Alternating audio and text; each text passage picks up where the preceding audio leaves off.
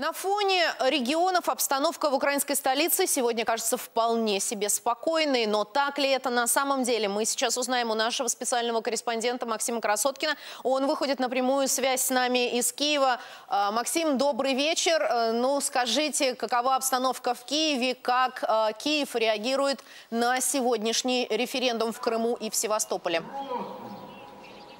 нашим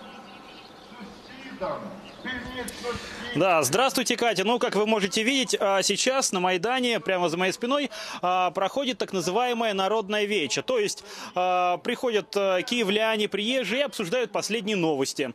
В общем, это происходит здесь каждый день, но так как сегодня выходной, народу все-таки пришло немного побольше.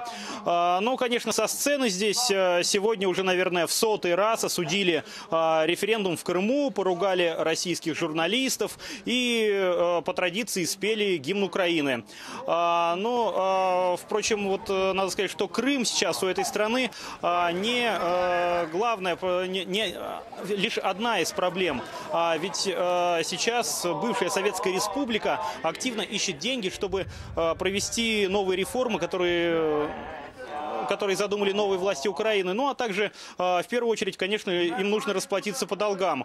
Но, судя по всему, э, судя по тому, что на Майдане круглосуточно есть электричество, работают кухни, подвозят дрова, все-таки деньги сюда поступают более исправно, чем в бюджет государства. Екатерина.